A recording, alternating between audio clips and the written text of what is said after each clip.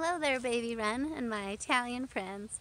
My name is Theresa Marie Pitts, and I set the world record for running the fastest marathon while pushing a triple stroller, the first to ever brave such an adventurous attempt.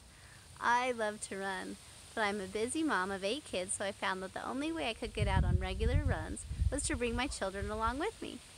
It is such a healthy activity and it brings us closer together as a family as we train for different events or simply just get out to be in nature and breathe the fresh air.